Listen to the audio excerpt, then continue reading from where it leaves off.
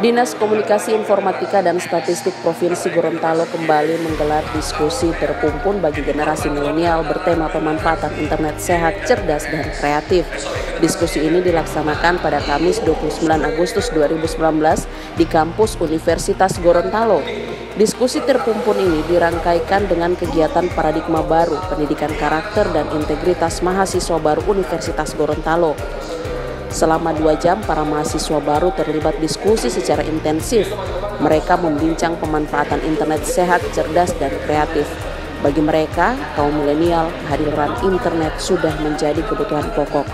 Mereka saling terkoneksi 24 jam non-stop untuk melakukan komunikasi jual beli hingga mencari informasi dan hiburan.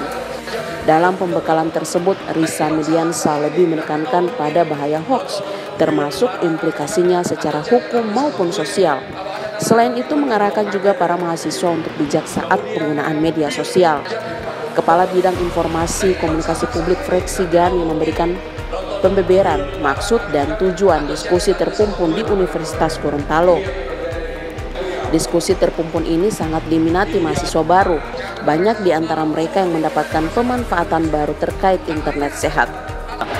Terima kasih untuk pemerintah Provinsi Gorontalo karena telah melakukan sosialisasi untuk kami maba Universitas Gorontalo. Harapannya kami sebagai generasi milenial dapat menggunakan internet lebih baik lagi agar tidak terjerumus ke hal-hal yang negatif, hal-hal yang tidak baik untuk kami dan untuk semua masyarakat. Selain itu, Leisyawati Ali, Kepala Subbidang Saluran Komunikasi Publik juga mengatakan bahwa lebih dari 320 mahasiswa baru sangat antusias menerima pembekalan dari narasumber yang berprofesi sebagai akademisi juga anggota KPID Gorontalo. Hal ini diharapkan bisa lebih memberikan manfaat kepada generasi milenial. Yang menggunakan smartphone itu bisa lebih smart daripada smartphone yang mereka pakai. Dan semoga lebih bijak dalam menggunakan media sosial.